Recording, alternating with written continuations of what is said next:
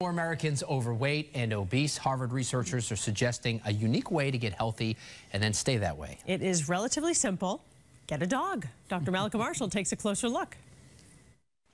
There you go. Connie Thanasula Saraccio says everyone in her home is happier and healthier since getting a dog, including eight-year-old Sophie. We all started to um, just eat really healthy and get physical exercise. We walk her four, five, six times a day. A new report from Harvard Medical School looks at how a dog can really improve a person's health.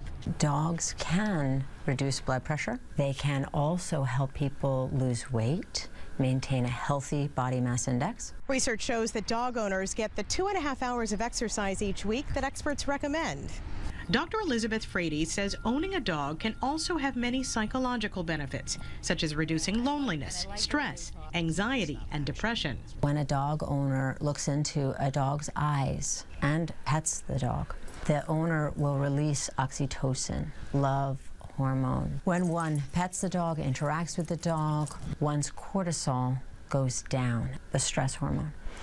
Connie and her husband welcomed Sophie into their home five years ago after Connie's parents died just a few months apart. She says Sophie helped her heal. It just brought me out of that sadness. It's added a lot of happiness to our house and our home, and you know, we couldn't imagine life without her here. And it's a healthier life. Connie and Sophie have each dropped 30 pounds. Dr. Mallika Marshall, CBS News, Boston.